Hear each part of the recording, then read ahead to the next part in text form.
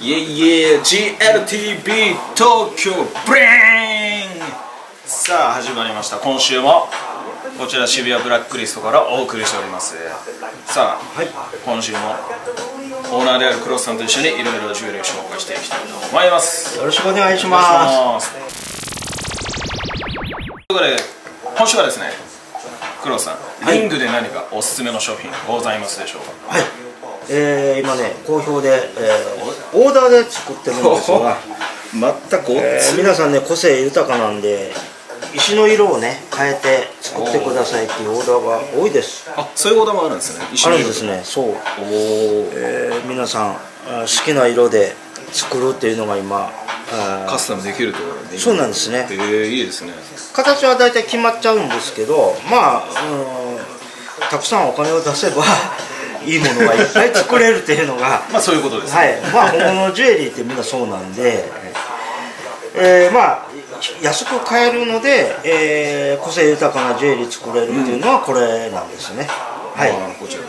こちら素材は？こちらもねシルバー925メインです。18金だとねやっぱりもう35万とかになっちゃうんでシルバー925これオーダーで作って2万5千円。あ2万ですねはい。消費税ということなんで、はい、これでねちょっと高いって言われたら、えーメイドインジャパン物価が高くてね、そうですよ。はい、材料費も今すごいどんどん上がってます、えーその中では、えー安い方です、えー自信の価格でやっております。はい。やっております、もうブラックリストならではのプライスでございます。はい。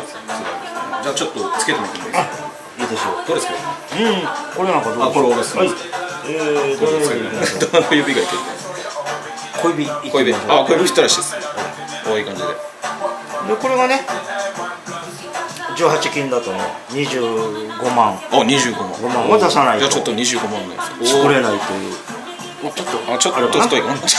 これも小指かな？これも小指小指かな、これです。ねごっついっすね。はい、これがねよく18金で昔からあるインダイっていうやつですね。おおインダイはい。これに真ん中にねよくダイヤモンドを入れてくださいっていうのがあるんですあーなるほダイヤモンド入れると35万40万になっちゃうので、はい、まあ皆さん、えー2万5千円で買えるっていうところがいいと思いますこれね石はねスワロフスキーを使っております。おおそうですねスワロフスキー使ってこの価格はないと思っております。はい。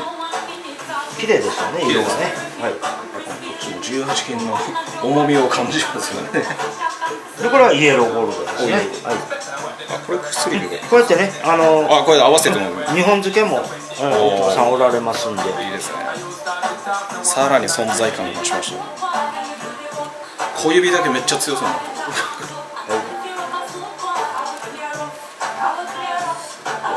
これごついですね。でこれが、えーこれもね今斜めに入れております、石をね、あ本当はいこれを配列変えられるんで、えー、あそんなこともできるそうなんですよ。もう石の色も全部変えて、えー。配列も変えられるっていう。だからねもうここあールビーにしてっていう方もおられるんでね。ルビー色にして作ったりもしております。そうですね。どの角度傾けてもキラキラして。そうですねマイクを持つ手にこのリングをねやっぱり少しこういうですはいね、つけていただいてる方ももうすでにおられますんで。おおいいと思います。ありがとうございます。ありがとうございます。